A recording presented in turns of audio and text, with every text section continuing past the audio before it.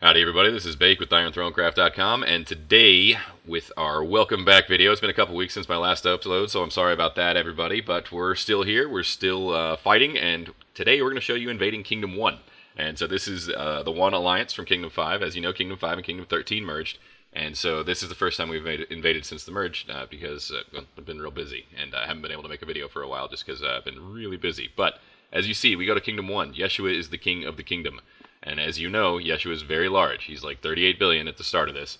As you see right there, 38.5 billion, and he's huge. So I try to get a scout on him. And the reason we went to Kingdom 1 is because Yeshua is kingdom. So I, is king of the kingdom. So I know that he can't shield, or can't be shielded. They can't use an enormous shield on him because he's king. I know where he is. And uh, I know that, as you see here, what I'm doing is I'm setting my heroes for this first rally. We don't know what he has. So my first rally, I'm sending a Majestic as my main attack hero, full Majestic. And then my off attack hero is going. My secondary hero is Archer, my Archer hero. So this is what I'm doing here: is I'm setting these rallies with Majestic as my main one, and then the fillers are filling with the type that I send, and they're sending their Archer heroes into it, and I'm getting 10% of those stats. So basically, they're providing all the attack stats, and all I'm doing is I'm using my main attack hero to debuff. And I know that Yeshua has very high Dark Lord. I assume that he has very high Majestic as well. And what this video is going to show is this video is going to show that uh, Dark Lord just can't hold up against Majestic. It just can't do it. So you need to set Majestic as your guard captain. If you don't set Majestic as your guard captain, things like this are going to happen. So the rally gets filled, I, I check and I see that I have all those attack heroes in there, and they're providing all my archer attack, like I said. So there's the hit, and we look at it, 800 million power uh, down, 150 million injured, and so we hit him really hard, but I see that that's tier 2. So let's look at his stats though. See, troop attack 1400, my troop attack debuff was 3000 and my archer attack is 2578. And so as you see, that is the filler heroes coming into play there, giving me that archer attack, and all I was worried about was the majestic debuffs. So you see he's got a big old stack of tier 2 siege, that's why that hits hit so hard. He doesn't anymore, uh, unless he's revived them since then. But they all went to bed, so it's not that painful.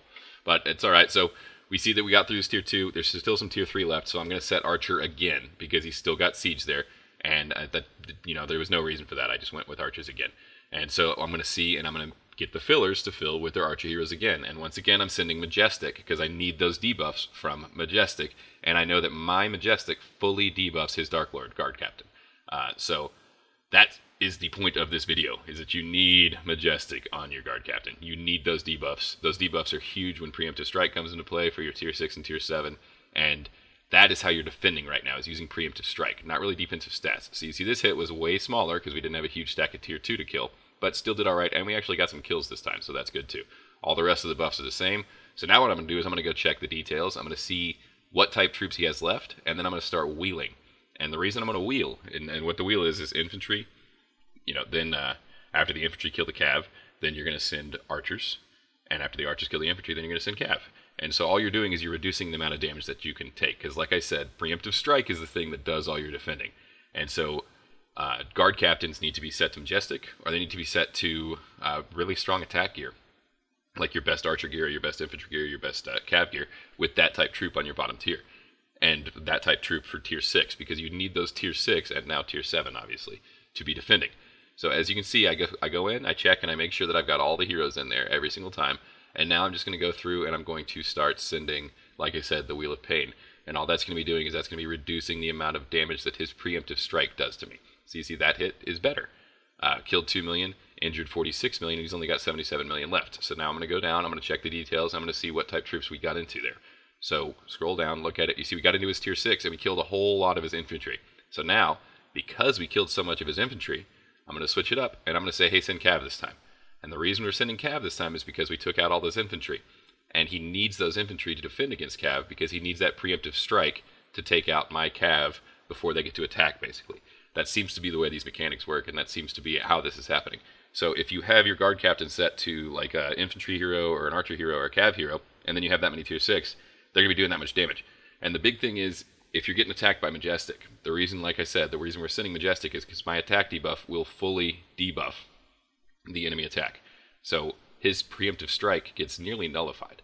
Like it's still there, they're still doing damage, but it gets nearly nullified because of that high attack debuff. And that's why it's such a big deal to have Majestics on your guard captain or to have, you know, your best archer gear. Like I said, if you set that to an archer hero and then you have a whole bunch of tier 6 archers, I'm not going to be able to fully debuff your attack, so your tier 6 archers are going to get that preemptive strike and they're going to reduce your damage. And look at this.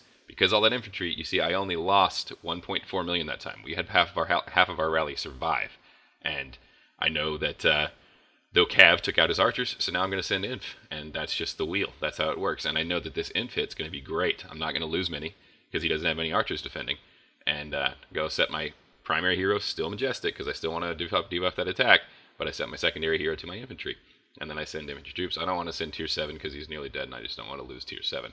Uh, looking back on it, I should have because the tier six are going to stand in front of it, and I wouldn't have taken the hits from uh, from the tier seven anyways. But it is what it is. So send infantry on this one, and we know that he basically only has tier six cav left. And with only tier six cav sending a full rally of infantry with majestic hero, I know he's not going to do much damage to me. It's not going to hurt me that bad, and it's going to uh, you know crush him obviously. So that is why we're able to rally these big people, is because we're using the mechanics, we're using the wheels, and uh, we're debuffing their stats entirely uh, because they all have Dark Lord on their guard captain, and uh, Majestic just fully zeros those stats. So you see, here's the hit. I speed it in, even though there's only three seconds on the rally because I'm the most impatient in the world, and you see that I've captured an enemy hero. So that hit was zero. Killed uh, 29 million right there. And now, after I saw that I captured an enemy hero, what I'm going to do is I'm just going to spam solos into him after that to grab more heroes and also to grab resources because I figure he's got quite a bit of uh, resources open. So that's all this is. It's just me spamming marches in there to uh, get uh, heroes and resources. Uh, but that's that's what I wanted to show here with this with this video is that even though he's 38 billion, even though he has that many tier six, the majestic fully zeroed his stats, and it made us able to uh, get through those tier six pretty quickly. And uh, so now I'm going to speed it up a little bit. You see lots of resources, so people are going to start uh, hitting and grabbing those resources, but then you see shields uh, right after that. So I'm going to go and, you know, the number one rule of these videos, invade. Like I said, you kill the biggest in the kingdom, you got to chop their hero immediately. And that's what we do. And so then on to the next. You see VXS Rock right here. 33 billion. Uh, sitting there unshielded, hasn't moved, didn't come to reinforce Yeshua while it's happening, so I figure he's offline, and I figure this is about to uh, be able to hurt him pretty bad. So we do the same exact thing here. Set Majestic as the main hero, Archers as my off hero, and then all the fillers are going to fill in with their archers, archer troops, and their archer heroes, and they're going to provide all that troop attack to me. I get 10% of their attack. That's where I'm getting all my attack from. All I care is debuffing, like I said. Uh, KC is obviously going bonkers at this point because uh, we are rallying the kingdom down. But um, another point in this video is that it's Saturday, Invasion Day. You need to make sure you're able to shield. Make sure you're around if you're not shielded, uh, because you never know who's going to come visit. We can invade up to Kingdom 37 now. So if you're in 37 or under, you can expect visitors any given weekend.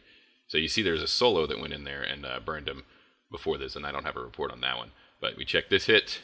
Here's the PV win, PvP win, 600 million killed or injured 67 million. Had 90 million uh, troops left. Check his stats. See his troop attack debuff is only 357. His troop attack's a little bit higher, but that attack debuff tells me he's not using Majestic as his guard captain. So we're going to be able to chew through this pretty quick. And as you see, took out half of his tier 6 uh, infantry there.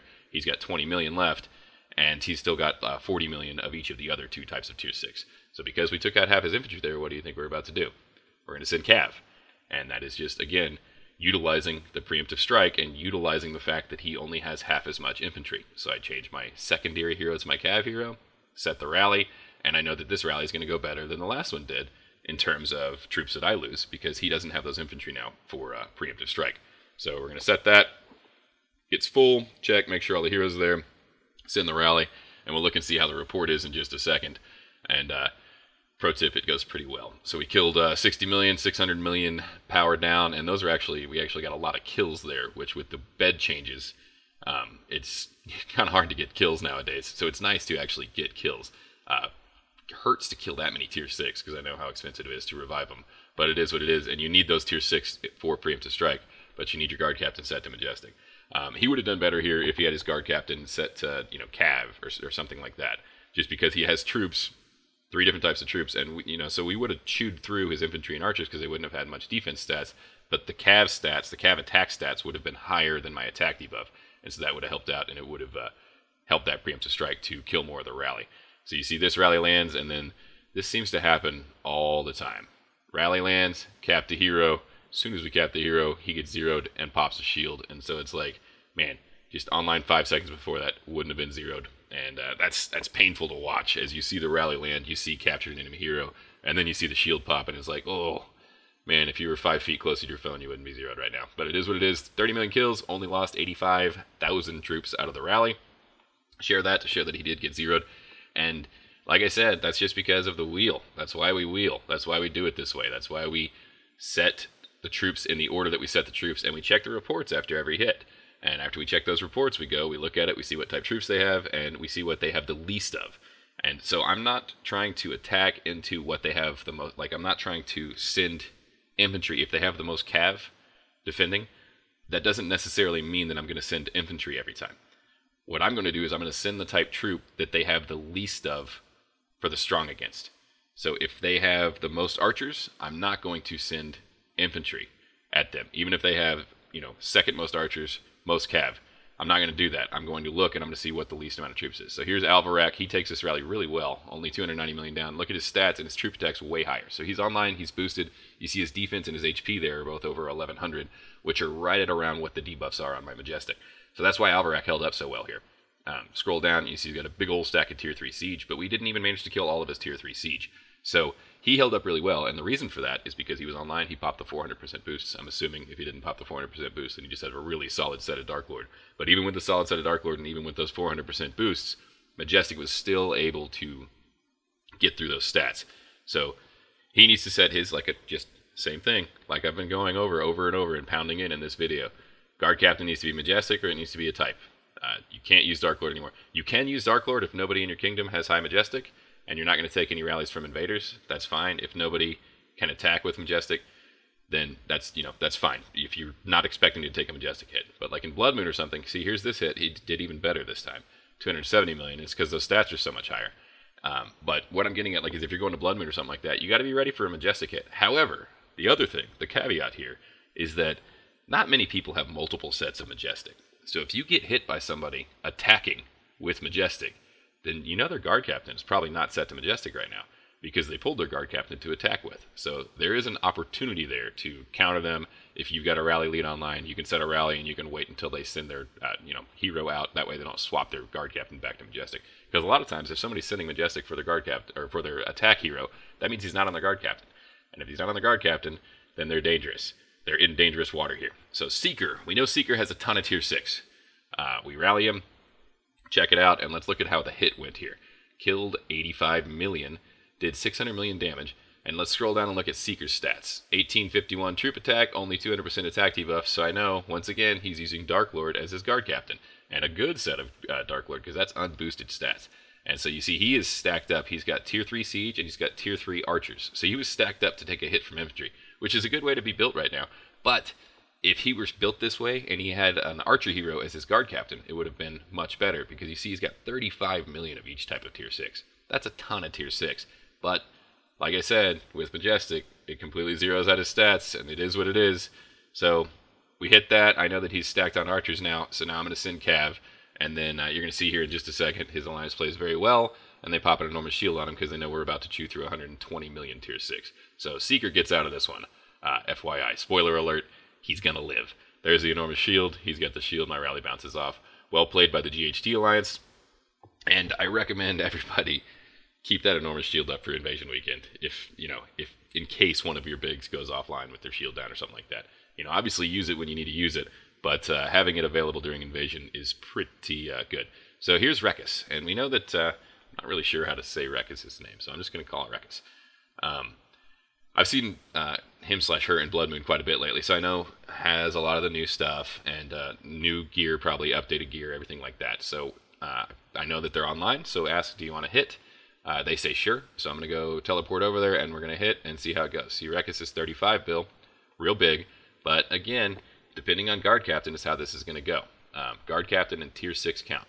That is all that matters. So set the rally with Majestic as my lead and archers as my secondary tell all the feelers, uh, all the all the feelers, all the fillers to uh, fill with their archer heroes, and they're going to give me all that archer attack. I get 10% of each one, and we're going to see how this goes in just a second as the rally fills. No, we know that Rekus is online though. We know that Rekus is boosted, so not expecting a huge, you know, devastating hit, but I'd like to see how this goes. Uh, see if manages to get the the uh, buffs up above our debuff point. So send the rally. There's only four seconds on it, but I still pop a rally speed because I just it's ingrained in me. There's nothing I can do about it. I can't not do that. Go look at it. 63 million injured, 440 million damage. So not bad. And uh, look at the stats on Ruckus 2235 troop attack. That's a lot. That's a big old set of Dark Lord. But, again, not enough to hold up against Majestic because Majestic debuffs. So I'm going to go back through and I'm going to look, and you see 974 troop defense and uh, about the same amount of troop HP. But a maxed out set of Majestic zeroes out 1100 defense and HP. So unless you're over that amount, it's not going to work. But you see, that was a, that was actually a good hit, a good take. Killed 63 million or injured 63 million siege, uh, and that's not bad. Uh, that hit in Blood Moon, especially if, we if we had sent Tier Seven, that hit in Blood Moon would have been uh, near nearly point po- probably point positive. I'm not sure. I need to look at the chart. Um, but you see here now I say wait for Blood Moon to revive. Speaking of that, because it's half price. So that's a little bit why, why we're you know a little bit able to uh, throw away this many tier six because we know it's about to be half price to revive as soon as Blood Moon opens up. So thanks for the video, or thanks for watching the video. Sorry for the long delay. Give me a like, give me a subscribe. Content's going to be coming out again soon. Back from vacation. Thanks for watching, everybody.